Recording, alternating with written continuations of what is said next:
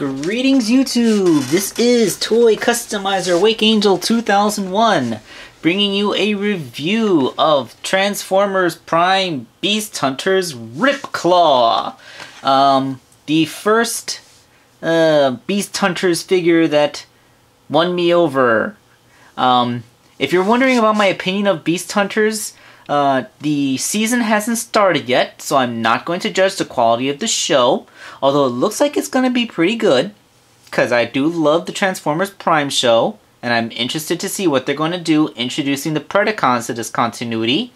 But as far as the toys are going, I'm not really that cool with the uh, Mad Max aesthetic uh, that the things have. I mean, a lot of the, a lot of the um, a lot of the, the Autobots look like they just jumped out of a, an 80s post-apocalyptic movie, and a lot of the Decepticons look absolutely, completely, ludicrously, stupidly insane.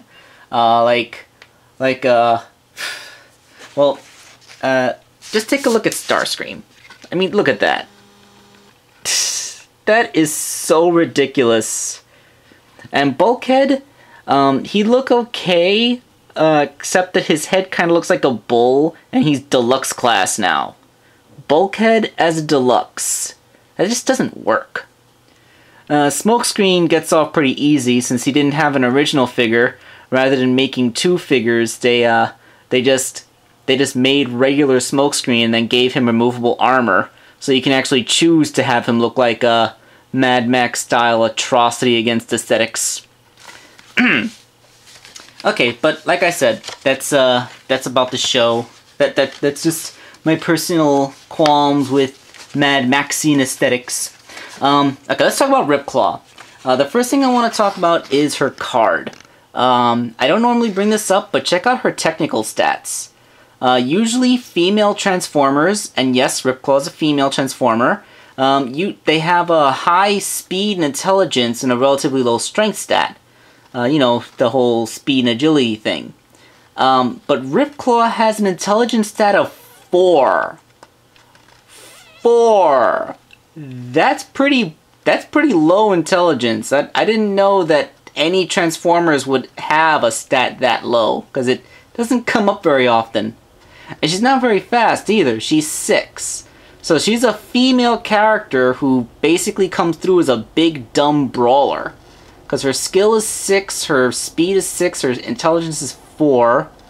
Of course, she's she's she's uh, very strong. She has high endurance. She has a pretty good rank, considering how dumb she is. Uh, she's very brave. Of course, she's too she's too stupid to be to be scared, and and she's very powerful. So yeah, big dumb brawler and female. I gotta say that's kind of original you're not used to seeing that very often. Um, in my head, she's voiced like one of the Amazonians from uh, the Futurama cartoon. So, what's it like on Cybertron? Big rats there. Me smash with club. Okay, I've spent like three and a half minutes making jokes. Alright, but one more thing before I talk about the figure.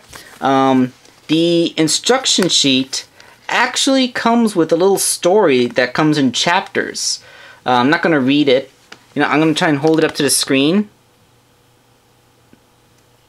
There we go. See if uh, you might want to pause the video and read that. And uh, the chap the chapters continued in Bulkhead. Bulkhead's instruction sheet. So it's actually a kind of interesting incentive to collect the entire line because you get all the figures, you get to read the entire story. Okay, from now on we are talking only about the toy. Um, this is, I gotta say, a really good dragon.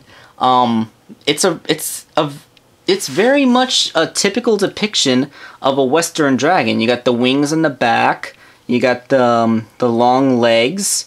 Uh, although you have this big claw tail thing. It actually looks like a scorpion tail. And the gimmick here is that this is spring-loaded, so when you push the button, clamps down. So she's actually kind of like some kind of chimeric abomination combining a scorpion with a western dragon. And I'm okay with that. That's uh that sounds freaking awesome. Okay, um this brown tip of the tail unpegs, which releases a soft which releases the joints and allows the soft plastic to take over, making the tail super flexible. Of course, this way the tail can no longer hold poses, but then you think, why does it do that? Well, it's a toy. This is a play feature. You play with it. It doesn't help for display, but it makes it easier to play with, and that's what toys do. Remember that. So yeah, anyone anyone who doesn't like the soft plastic tail, remember, it's not supposed to help with display. It's supposed to help play. Um, one flaw in this mode, her head. It's made out of squinkies. Her head is a squinky. What the hell? Is it because of these fins? I, Arcee's back points are sharper. Heck, her wings are sharper than this, and they're not made out of squinkies. Why is her head a squinky? Look at this. Let's zoom in on that head. Look at that. No wonder her IQ is 6. Her intelligence set is 6 because her brain has no protection in this thing. Okay. Aside from that, there are no flaws to the dragon mode, because this, this is freaking awesome. Um, I don't really have any other beast transformers. I mean, that the guy that came the two pack with Thunder that with Thunder Blast and uh, Black Arachnia are the only other animal based transformers I have. But uh, she's really cool because um, most most beast formers that I've seen really only look cool in one pose, like standing calmly. But uh, with this expressive ball jointed neck and a wide variety of joints in all four of her legs, she can actually take on really cool poses that you wouldn't typically be able to do with most beast hunt with most beast transformers. So she is a highly posable, highly playable figure in beast mode, which is really awesome. And I'm I'm uh, credit where it's due. That's that's really good. That, yeah, that, that's just great. I love how posable she is in dragon mode. Uh, so let's get on to her transformation. Let's zoom out a bit. Recenter. Okay, so um, the transformation's not all that great. It's basically, you know, stand the beast mode up and kajigger some stuff. Although they do some interesting things, like uh, with the legs, this piece comes off and forms a shin, turning a dog leg into a humanoid leg. That's that's just prime. Uh, her feet are nice and ball jointed. And uh, yep, that's legs. Uh, you get just move her arms out of the way a bit. Um, oh, uh, uh, there's like this shoulder, like you move it down to be robot mode and up to be beast mode but it, I think it works well either way. You just fold her Dragon Claw back all the way around and then rotate her arm. Maybe if I zoomed in just a little more. just, uh, boom. Ah, stop doing things. And uh, you gotta do something to her torso. Like this stomach flaps, you just fold them back. Then you collapse the chest down. And um, she has a little bit of a feminine shape. I mean, it's she's no Arcee or Airachnid, but you can tell that that's that is supposed to be a female body, vaguely. A pretty husky female body, but then she's a big dumb brawler. And uh, this leads to her mid-transformation step. Um, if this was her transformation, that could probably still work. Look at this thing. Let's zoom out a bit so you can get a... Look at that. This is a perfectly serviceable mode. It's a humanoid dragon thing. and it looks pretty freaking awesome. I would not be surprised if a lot of people chose to display her like this. Okay, so the last thing is the head reveal. You pop the neck apart and pull it down to form like samurai shoulder plates. And then the dragon head does a grimlock and just kind of folds along her back like this. Yeah, does just about that. Then you pull her face up a little bit so that you can see her open mouth. And there is Ripclaw in robot mode. And, um, I don't know, the, the big tail coming out the back still kind of makes her feel not completely transformed. But, uh, she looks pretty... Look at, look at this face. That is... That is the most intimidating face I have ever seen. That that looks yes, she she's a she's a she may be a female, but that is not gonna stop her from biting your face off. Cause she cause she thinks that you're prettier than her and should not be. I mean, holy crap, that is one terrifying maw. Um, for weapons, uh, her the tip of her tail comes off leaving a little nub. See the nub? And then this becomes a handheld weapon. And uh, just like this, you just slide it onto her hand. Then you kind of have like this big giant arm. Kind of throws off the symmetry because it's so huge and so hand-like. Like if it if it was a gun, then it would just look like she's holding a giant gun. But the way it is, it just kind of looks like she has a gigantic hand. Which is very scary looking. This is uh Yeah, this is this is Hasbro saying, "Yeah, we can make a female, but uh we we don't have to hold to any gender stereotypes, so ha." Yeah, this is this is uh, Ripclaw. She makes no apologies. I can't wait to see her on the show. I'm I'm actually really interested to see this character in action. Okay, so um, details in robot mode. Uh, you probably noticed the plastic has these yellow swirls in it. Uh, that's some kind of aesthetic where everybody has these paint swirls, probably recapturing the techno-organic look from the uh, Beast Machines cartoon. Perhaps that's what they're homaging.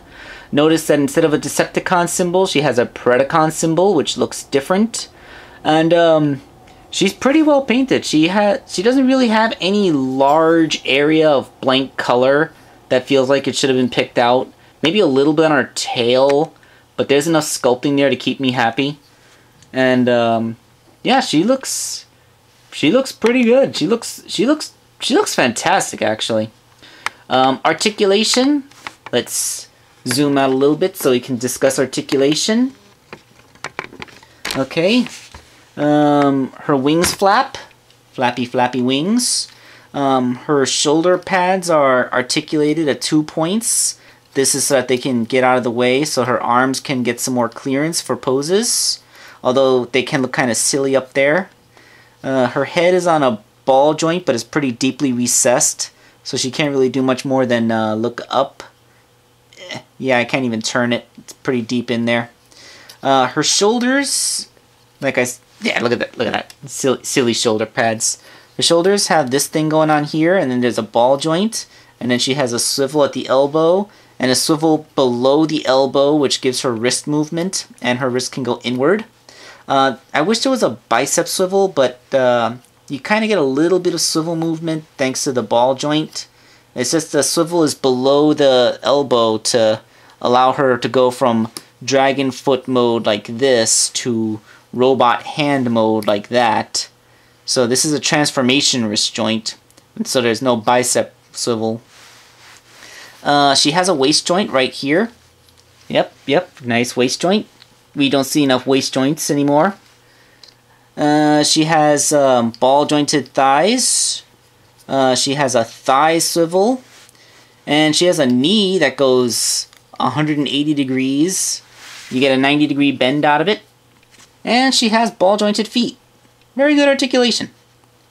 You can you can have this girl take on lots of pretty cool action oriented poses. There's thanks to the ball jointed knees and the thanks to the ball jointed ankles and the uh, and the great range on her knees, you can have her do pretty action oriented squats. Since she has her tail back there acting as a third leg, you can actually you actually don't have to worry about lining up her center of balance.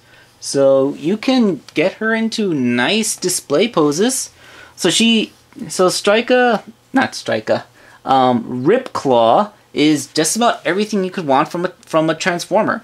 She has re- she has a good alt mode, a good transformation, a good looking robot mode, and she is highly playable and displayable. She pleases she she pretty much hits every single thing. So and she's a female. You know, we just don't have enough female characters in the Transformers canon. I mean, this makes her what? The third in Transformers Prime? Um yeah. Uh I mean, I, I want to see I want to see more female characters. I don't want to see. You know what? I said that I really wanted to see a G1 accurate Arcee made for the Generations line, but that's not enough for me. I want to see a deluxe version of Flame War, not just a Cyberverse repaint. I want to see Elita 1. I want to see Chromia. I want to see freaking um um you know, I want to see a prime version of Thunder Blast and and um, I'm, I'm pretty sure some people in the comments will come up with a dozen or other female Transformers that barely got any kind of mention anywhere. Uh, so yeah, let's see more female Transformers. And no BotCon repaints. I want this. I want retail deluxes available for all. Yeah. Come on, Hasbro. You can do it. This is Toy Customizer Wake Angel 2001 signing out.